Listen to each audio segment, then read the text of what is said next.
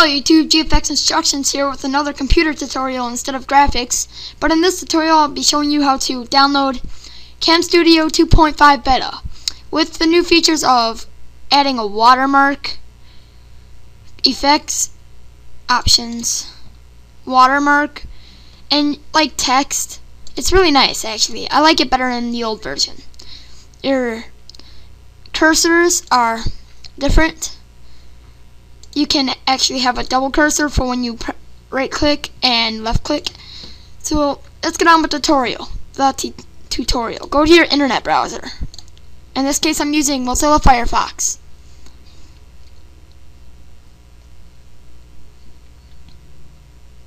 Sorry about the wait. Now go to camstudio.org slash DEV.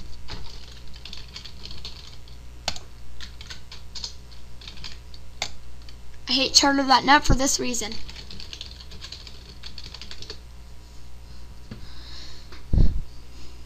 Now right cl I click on the second link that says CamStudio 2.5.b1.bin, not point .src. And you should get something that goes with the download. I'm just going to open it with WinRAR.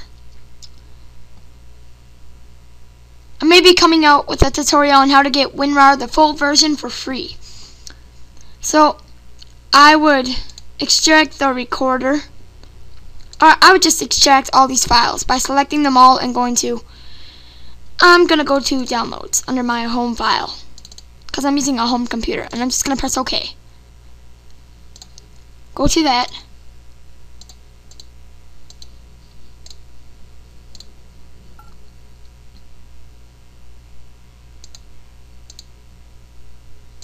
Sorry about all these waits. Kind of laggy today. But I'm just going to put all these in a certain folder to get rid of all the... Yeah, never mind. I'll, I'll do this some other time. But go to the recorder once I can find it. Right here. Or not there. Sorry, I'm kind of having trouble finding it. So once I find it, I'll come back.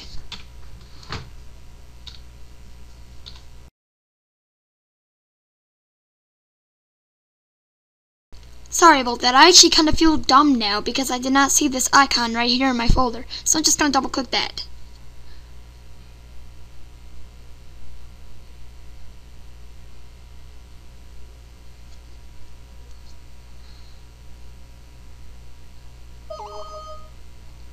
I'm sorry.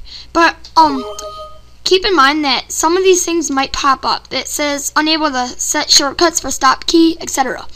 So just keep pressing OK. And now you got CamStudio 2.5 beta. So I hope this helped. I'm GFX Instructions. Thank you.